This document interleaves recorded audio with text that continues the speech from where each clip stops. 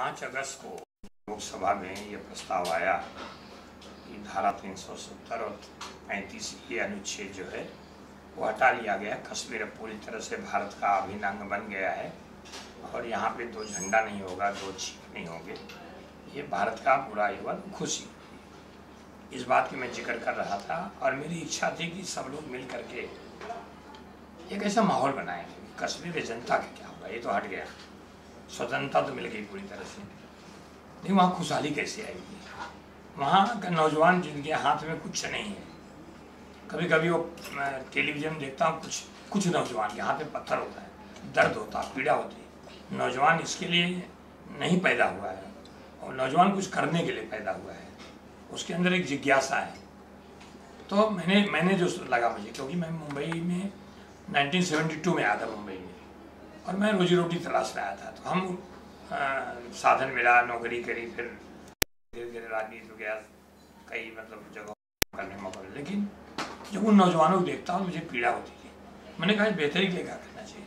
सरकार से मेरा एक ही अनुरोध है कि सरकार वहाँ को वहाँ की वहाँ की खुशहाली के लिए वहाँ का डेवलपमेंट वहाँ जब विकास होगा फैक्ट्रियाँ लगेंगी लोग बाहर से जाके ज़मीन खरीद सकेंगे तब तो होगा वहाँ पे वहाँ किसी की ज़मीन कोई कब्जा नहीं करेगा। जैसे और जगहों पे है ज़मीन कोई कब्जा थोड़ा करता है। ज़मीन खरीदता है, खरीदेगा, किस उनकी ज़मीन खरीदेगा, उसकी पैसे मिलेंगे, वहाँ उत्पादन होगा, फैक्ट्री मिलेगी, लोगों को रोजी रोटी मिलेगी।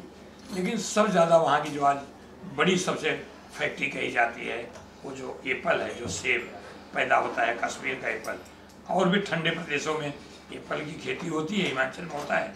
ये कश्मीर के एप्पल और ख़ास करके कश्मीर का को ये जो ई कॉमर्स कंपनी है, उनको मैंने चिट्ठी लिखी है।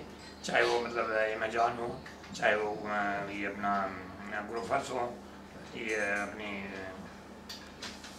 तीसरी कंपनी फ़ूड मार्केट का है, इन लोगों से मैंने अपील की है, चिट्ठी लिखी है कि आप जो है उनसे परचेज करें और उनको एक अच्छी कीमत दें। आप जो है, अपना फ़ायदा कम रखें। प्रॉफिट थोड़ा कम कर, करेंगे। और एप्पल लोगों तक जाएगा। तो ये बहुत बड़ा काम शुरू हो जाएगा।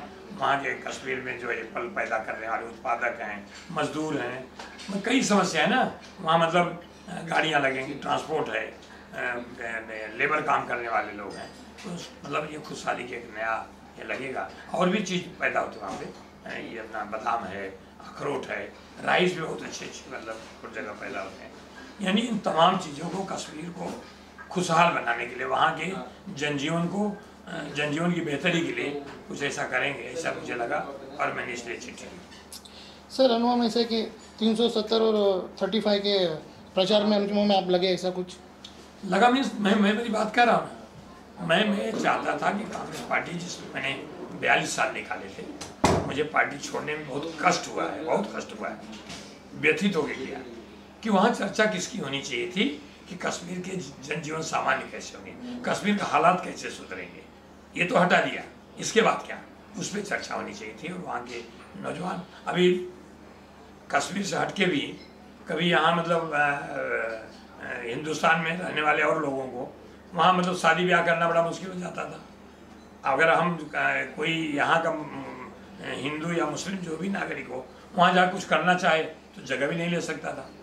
तो जब हमारा देश हिंदुस्तान एक है तो हिंदुस्तान में तो नहीं देखा है कि कोई अकलीत का आदमी जा करके इसका विरोध करता हो। करना भी नहीं चाहिए। हाँ कश्मीर के लोगों को कुछ अपनी समस्याएँ हैं, उस समस्याओं को सुलझाना चाहिए। सरकार पहल करनी चाहिए। मुझे एक चीज़ और अच्छी लगी, जो घोषणा हुई है कि कुछ बहुत ज़्यादा मतलब ये पैकेज जो वहाँ के लिए तैयार किया गया, दिया जा रहा है। एक बार जनजीवन सामान्य होगा और इस ढंग के मतलब उनके ऑर्डर को खरीदी आएगा तो मुझे लगता है कि तीन सौ सत्तर और पैंतीस से का अनुच्छेद हटाना सार्थक होगा। और भरोसा मुझे है कि वो लोग जो वैली से बाहर नहीं निकल पाते थे, वो वैली के लोग मुंबई आएँगे, मुंबई के लोग वैली भी जाएँगे। एक जनजीवन जो हिंदुस्तान का एक दूसरे से भाईचारा है, एक दूसरे की इंसानियत तकाजा है, वो सब देखने को मिलेगा।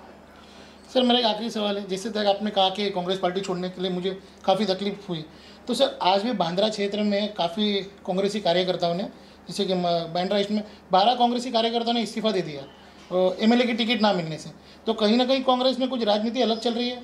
नहीं, अब तो मैं छोड़ दिया हूँ कांग्रेस पार्टी, उसके पार्टी के बारे में कौन क्या कर रहा है, मैं तो यही कर रहा हूँ कि मैं मैं भी आत्मचिंतन कर रहा हूँ ना। मैं कोई पार्टी नहीं ज्वाइन किया, मैं कोई पार्टी चुनाव लड़ने के लिए नहीं किया। मेरा एलिगेशन और कुछ नहीं है। मेरा एक मुद्दा था मैं भी आपसे आत्मचिंतन कर रहा हूँ। क्या मैंने निर्णय लेकर सही किया है? हम लोगों के बीच जा रहे हैं लोग समर्थन दे रहे हैं। मैं चाहता हूँ कि जो मेरी इच्छा है कि कांग्रेस पार्टी आत्मचिंतन करे।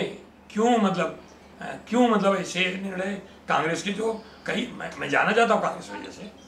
मैंने कहा नहीं कांग्रेस की वजह से मैं जाना चाहता हूँ। आज मेरी पॉलिटिकल कैरियर जो थी मैं क्यों छोड़ के जाता? इतना दिन तो मैं पार्टी में रहा। पार्टी ने मुझे बहुत सारे ऐसे जवाबदारियाँ दी जो कभी सोच भी नहीं सकता था। लेकिन मैंने कोशिश करी थी। तो पार्टी को भी इस मामले में अ, सोचना चाहिए और जो शीर्ष नेतृत्व है इसको गंभीरता से विचार करना चाहिए। चलो सर जाते जाते अपने कुछ दर्शकों को कुछ संदेश देना चाहेंगे?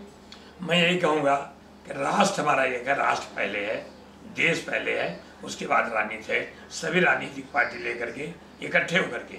जैसे 71 72 में इंदिरा जी गांधी ने, उस समय देश की प्रधानमंत्री थी, पाकिस्तान दो टुकड़े में बांग्लादेश बन गया था। और जब इंदिरा जी गांधी प्रधानमंत्री पार्लियामेंट पहुँची हैं तो सामने से अटल बिहारी वाजपेयी जी, वो भारतीय जनता पार्टी के लीडर थे, प्रतिपक्ष के नेता थे। खड़े होकर उन्होंने कहा, इंदिरा गांधी, ये तो दुर्गा के अवतार है। और सभी मेंबर ऑफ़ पार्लियामेंट खड़े होकर के ऑनर किए थे। तो देश के पे सब लोग इकट्ठा रहना चाहिए, बाकी राजनीति समस्या पे ज़रूर चर्चा होनी चाहिए।